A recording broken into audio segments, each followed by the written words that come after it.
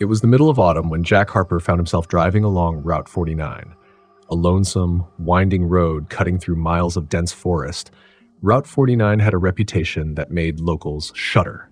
They called it the Lost Road, though no one could remember exactly where the name came from.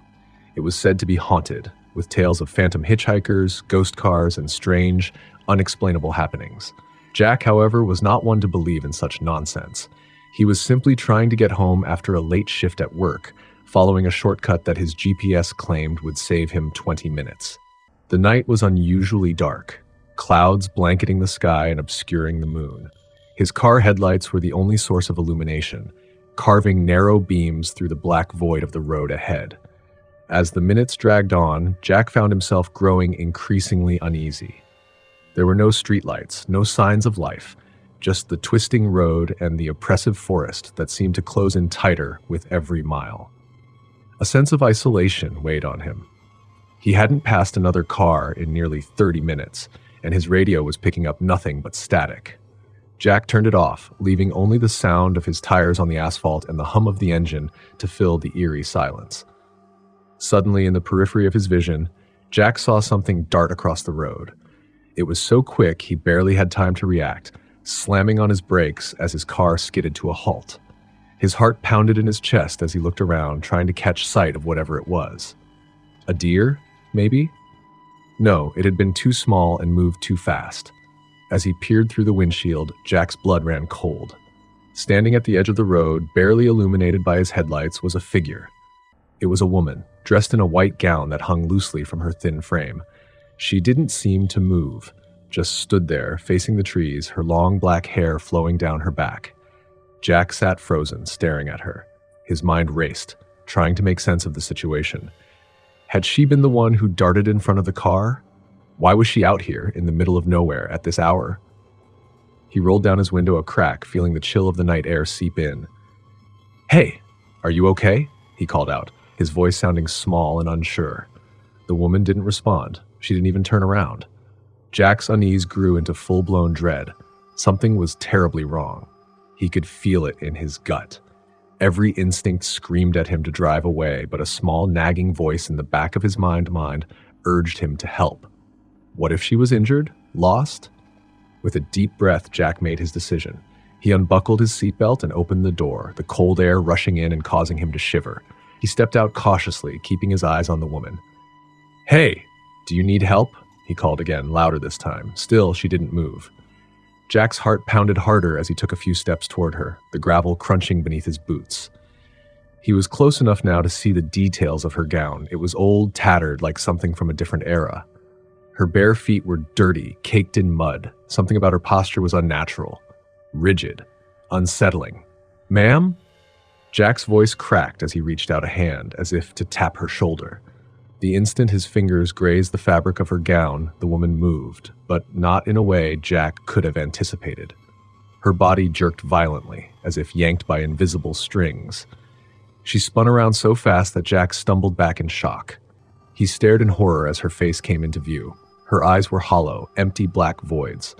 Her mouth stretched impossibly wide into a twisted grin, revealing teeth too sharp and too many.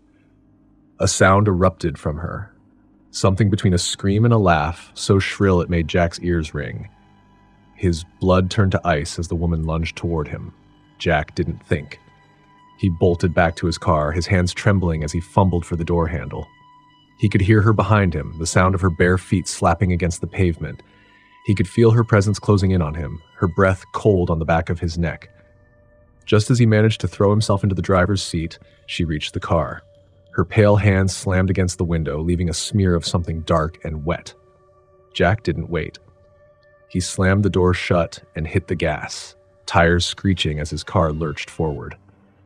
His heart raced as he sped down the road, the rearview mirror showing nothing but darkness behind him. For a few moments, all he could hear was the sound of his own ragged breathing and the roar of the engine. But then something shifted in the air. A cold presence settled in the car with him. Jack's hands tightened on the steering wheel as the temperature inside the vehicle plummeted. His breath came out in visible puffs, fogging up the glass. Suddenly, the radio flickered to life on its own. At first, it was static, Then a voice, faint and garbled, crackled through the speakers. You shouldn't have stopped, the voice whispered, distorted but unmistakable. It was the woman's voice. Jack's heart nearly stopped. His eyes flicked to the passenger seat, where, in the faint glow of the dashboard, he saw her, sitting right beside him. Her hollow eyes were locked on him, her twisted smile stretching even wider. The car veered as Jack screamed, swerving to avoid the ditch. He stomped on the accelerator, pushing the car faster and faster, desperate to escape. But no matter how fast he went, he could feel her gaze, cold and unrelenting, boring into him.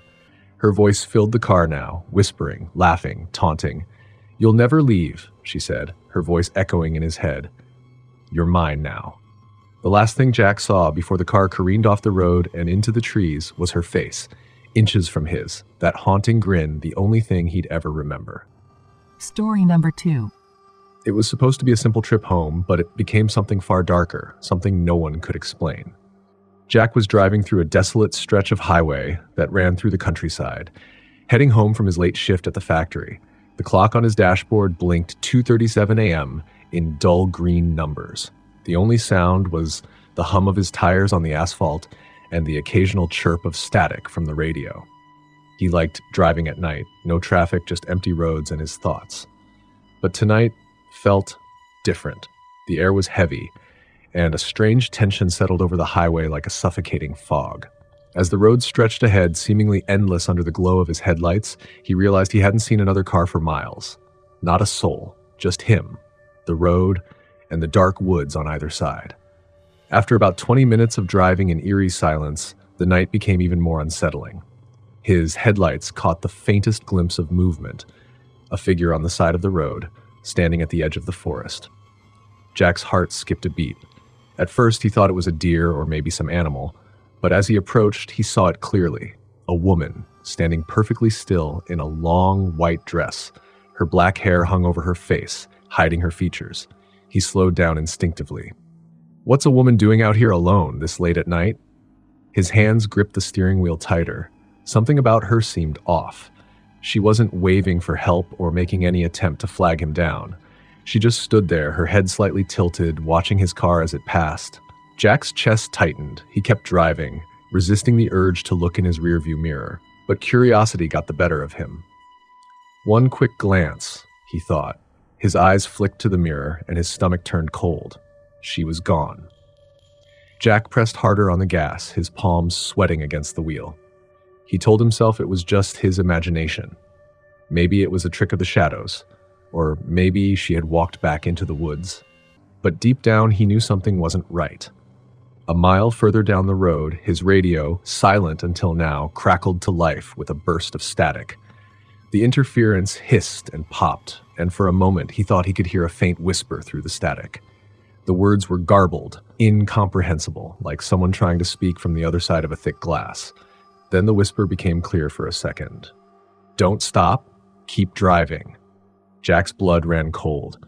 His heart pounded so loudly he could hear it in his ears. He reached for the volume dial, but before he could turn the radio off, the whisper cut off abruptly. Silence returned to the car, thick and suffocating. His pulse raced as he tried to shake off the unease. It's just static. You're tired. That's all. But he knew better. There was something wrong with this road, with this night. Just as he was convincing himself to focus, something moved in the corner of his eye. A flicker. Jack gritted his teeth and glanced to the right. There she was again, the same woman in the same white dress standing at the side of the road just ahead. Her head was tilted, the black curtain of her hair still covering her face. How did she get here? Jack's heart dropped. He was driving over 60 miles per hour. There was no way she could have made it this far on foot. Yet, there she stood as if waiting for him. He didn't slow down this time. He pressed the accelerator and sped past her, refusing to look at her directly. But he knew she was there. He could feel her presence, cold and heavy, pressing against him. Once again, he couldn't resist. Just one look in the mirror. Jack's breath hitched. She was standing in the middle of the road behind him, illuminated in the red glow of his taillights.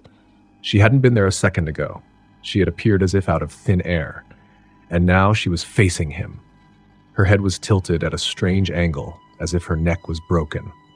His hands trembled as he gripped the wheel tighter.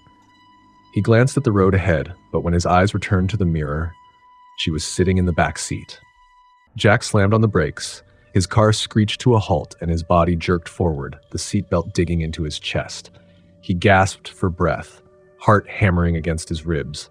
Slowly, he turned his head toward the back seat, expecting to see her. But the seat was empty. The silence in the car was deafening. Jack's pulse raced as he scanned the highway through the windows. Nothing. No woman. No movement.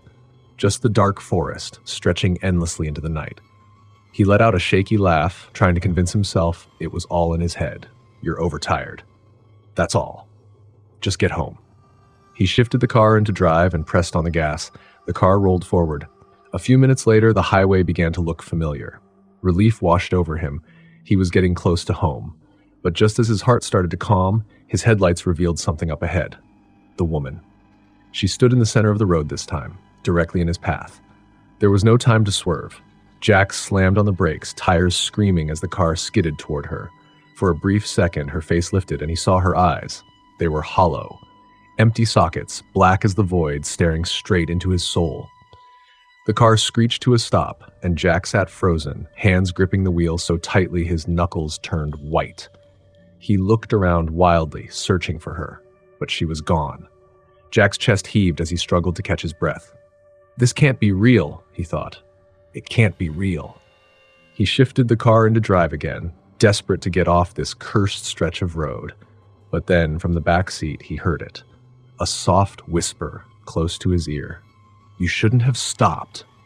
The cold breath sent shivers down his spine, and before Jack could react, the lights on his dashboard flickered and the engine stalled and the last thing he saw in the dim glow of his dying headlights was the reflection of the woman in the rearview mirror, her face twisted into a grin that was far too wide, far too inhuman. The whisper came one last time, barely audible You belong to the night now. The engine sputtered, the lights went out, and the darkness swallowed him whole. Story number three. Tyler had always loved night drives. The open road, the cool air, and the absence of other cars made him feel at peace. After a long day at the office, the thought of a quiet drive home on a rural back road sounded perfect. His route was familiar a stretch of desolate highway flanked by thick woods dotted only by the occasional farmhouse. That night, however, something was different. As Tyler merged onto Route 22, he noticed an unusually dense fog creeping across the road. It wasn't uncommon to get fog in these parts, but this was like nothing he had seen before. The mist was thick, swirling around the trees and curling onto the pavement like ghostly fingers. Tyler flicked on his high beams, but it didn't help much. The fog absorbed the light, making it even harder to see.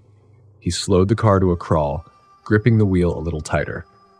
His GPS, mounted on the dash, was silent.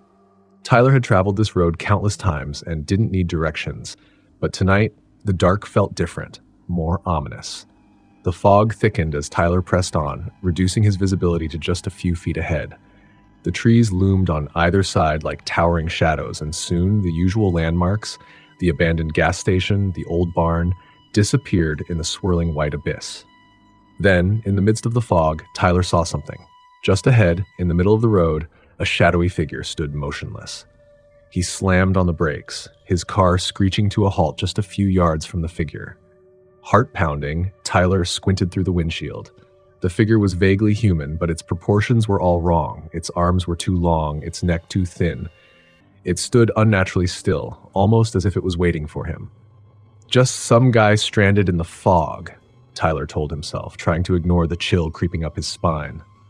Um, he tapped the horn lightly, hoping the sound would scare off whatever it was or signal that help was on the way. The figure didn't move. Unease gnawed at him, but Tyler knew he couldn't just leave the person there. What if they were in trouble? Against his better judgment, he rolled down the window slightly. Hey, you okay? He called out, his voice echoing eerily in the fog. There was no response. The figure didn't even turn to acknowledge him. Something was off. Tyler could feel it deep in his gut.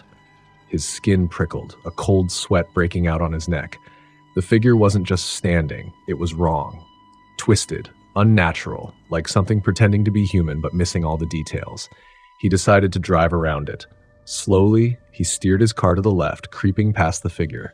As his headlights swept across it, Tyler caught a glimpse of its face or what should have been a face. There was nothing. Just smooth, blank skin where eyes and a mouth should have been.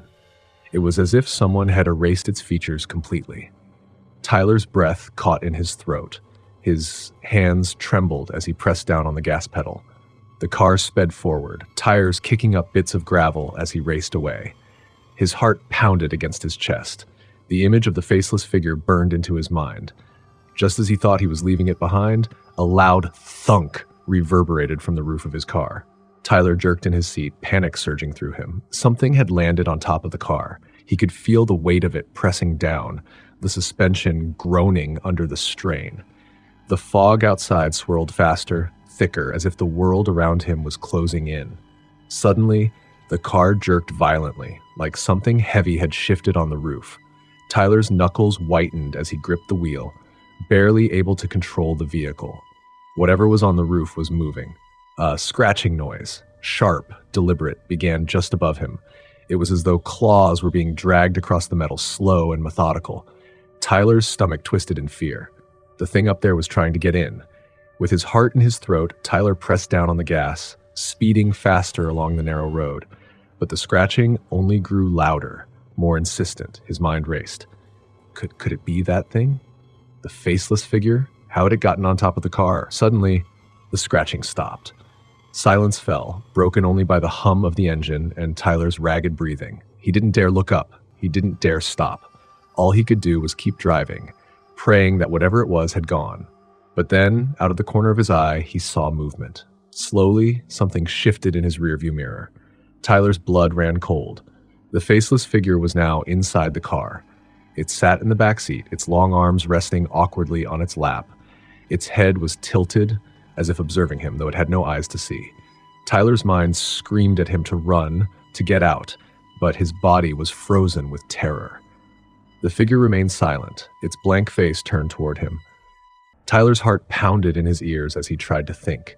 He couldn't pull over. He couldn't stop. Every instinct told him that if he slowed down, if he made any sudden moves, the thing would strike. Suddenly, the figure began to lean forward, its featureless face hovering closer to the back of Tyler's head.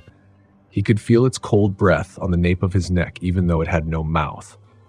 His vision blurred with panic, the road ahead fading in and out of focus. Without thinking, Tyler slammed on the brakes. The car screeched to a halt, tires smoking on the asphalt. The figure lurched forward, slamming into the dashboard. In the split second before it moved again, Tyler threw the door open and leaped out, hitting the ground hard. He scrambled to his feet, running into the fog, his pulse deafening in his ears. He didn't stop running until the headlights of a truck appeared in the distance, its horn blaring. Tyler collapsed to his knees, waving frantically for help. The truck screeched to a halt, and the driver jumped out, confused but concerned. There was something in my car, Tyler gasped, pointing back at the road. But when they looked, the car was empty. The fog had begun to lift, revealing nothing but an empty highway stretching into the night. Story number four. Eric hated driving at night, but sometimes he had no choice. Tonight was one of those nights. After a family emergency in the next town over, he found himself heading back home well past midnight, driving down a lonely two lane highway that cut through endless fields of darkness. His headlights pierced the night ahead, but the world beyond the road was nothing but shadows. The drive was long and uneventful. His only companion was the soft hum of the engine and the occasional ping of his phone, messages from his wife checking on him. Eric sighed, promising himself he'd make it home soon. But that's when he saw something that made his heart skip a beat. At the edge of his headlights, just up ahead, stood a lone figure, someone hitchhiking on the side of the road. Who hitchhikes at this hour? Eric thought as he instinctively slowed down. The figure was a man, standing perfectly still with his arm outstretched, thumb up. He wore a heavy coat despite the warm night air and looked down the road as if waiting for someone specific to pick him up. Eric debated with himself for a moment. I shouldn't stop. It's too risky. But guilt gnawed at him. What if this man really needed help? What if his car had broken down and he was stranded in the middle of nowhere? Against his better judgment, Eric eased his car to a stop beside the hitchhiker and rolled down the passenger window slightly. You need a ride? he called out. The man didn't answer at first. He just stood there, staring down the empty highway as if he hadn't heard. Then, without looking at Eric, he nodded slowly. There was something unsettling about his stillness, but before Eric could change his mind, the man walked around the front of the car and opened the passenger door. Thanks, the man said, sliding into the seat. His voice was hoarse, almost like a whisper. Eric forced a smile and hit the gas, getting back onto the highway. So, where are you headed? he asked, trying to keep things casual. The man shrugged, staring straight ahead. Anywhere's fine. Just need to get away. Eric felt a chill crawl down his spine. Get away from what? he wondered, but didn't ask. The man's strange behavior set him on edge. He looked ordinary enough, about Eric's age, mid 30s, with dark hair and pale skin, but there was something off about him. His clothes looked old, like they had been pulled from a different decade, and his hands resting motionlessly in his lap were covered in dirt. For the next few miles, the man said nothing, and the silence became unbearable. Eric turned on the radio, hoping to cut through the tension, but all he could get was static. That radio's no good, the man said suddenly, making Eric jump. Eric chuckled nervously. Yeah, signal's bad out here. Happens all the time. The man didn't respond. Instead, he turned his head slowly and stared at Eric with dark, sunken eyes. You ever pick up hitchhikers before? Eric shook his head, gripping the steering wheel tighter. No, first time, actually. The man's lips curled into a thin smile. Dangerous thing to do, you know, picking up strangers on a lonely road like this. Eric swallowed, his heart pounding harder. Well, I guess I got lucky then. You don't seem dangerous. The man didn't answer, just kept that unsettling smile on his face as he turned his gaze back to the road. They drove in silence for a while longer, the darkness pressing in from all sides. Eric tried to keep calm, but the man's presence gnawed at him. Every time he glanced over, the hitchhiker seemed wrong. His face, though ordinary at first glance, felt unnatural under the flickering light from the dashboard, like he was wearing a mask that didn't quite fit. Then the man spoke again, his voice softer this time, almost wistful. Do you believe in ghosts? Eric forced a laugh, though his throat felt tight. Not really. Do you? The hitchhiker smiled that strange smile again. I think I might be one. Eric's chest tightened with fear. He gripped the wheel so hard his knuckles turned white. He's messing with me. He's just trying to freak me out. But then the man turned fully toward him, and Eric saw something that made his blood run cold. The man's reflection wasn't in the window. In fact, the passenger seat and the glass looked empty, like there was no one sitting there at all. Eric's breath hitched, and his mind raced. What the hell is this? What's happening? You all right, driver? The man asked, his voice dripping with amusement. Eric's hands trembled on the wheel, but he forced himself to nod. Yeah, yeah, I'm fine. The man grinned wider, his teeth unnaturally white in the dim light. Good, you'll need to be. Suddenly, the car's interior lights flickered, and the engine stuttered. The headlights dimmed for a moment, plunging them into near darkness before they sputtered back on. Eric's heart pounded in his chest as panic gripped him. Pull over, the hitchhiker said calmly, as if giving a suggestion. We're almost there. Eric stared at the man in confusion. Almost where? The hitchhiker leaned in closer, his breath cold against Eric's neck. Home. Eric's skin crawled, and a deep sense of dread flooded his mind. He slammed his foot on the gas, determined to get away from the man, but the car groaned in protest. The engine sputtered again, and the car began to slow as if some invisible full force was holding it back. The man chuckled softly. You shouldn't have stopped. Eric's eyes darted to the rearview mirror and that's when he saw it.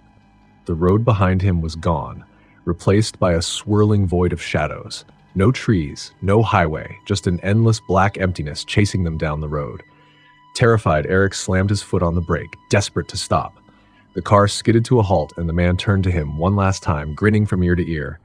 Thanks for the ride, the man whispered. And then, just like that, he was gone. Eric sat frozen in the driver's seat, heart racing, gasping for breath.